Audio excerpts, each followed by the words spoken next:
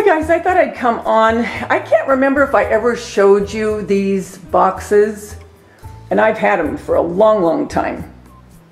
So I don't remember, I don't think I did. I, am pretty sure I didn't. Anyway, I got these from Hobby Lobby when they were on sale. And I saw this in a Pinterest, and it was in someone's home and it wasn't a part of what they were showing on Pinterest, but it was just in their home. And when I saw it, I just fell in love with them. So then I went on to Amazon and they were, oh, I can't remember, they were expensive. But theirs were the dark wood. So when I saw that Hobby Lobby had these, and like I said, this has been months ago, I went ahead and I got them and I just put them up when I did my my farmer's market uh, decor.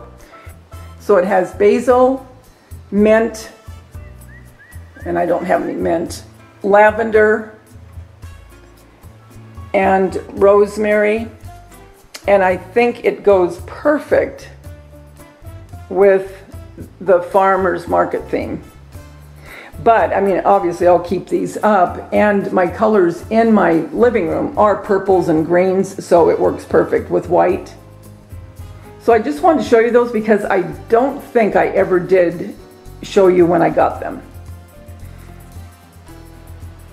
And actually these would be very easy to make if you had, well, I mean, if you could have someone cut you the wood, you could nail them together and this is metal, okay?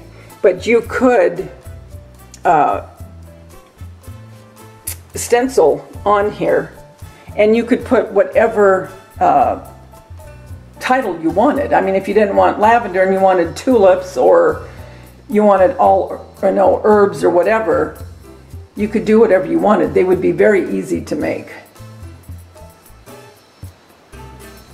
So I wanted to show you that because really all it is, it's pine.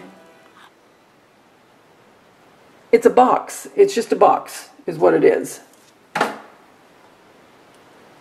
like I said, if I still had my scroll saw, I would be doing a lot of this stuff without buying it. But I don't, and so I went ahead and bought it.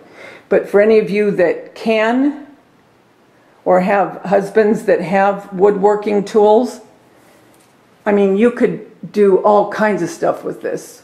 So there you go. So that's just a little short video that I just wanted to show you uh, what I did with these. Remember, the world's a better place because you're in it. Don't ever, ever forget that. I'll talk to you soon. Bye.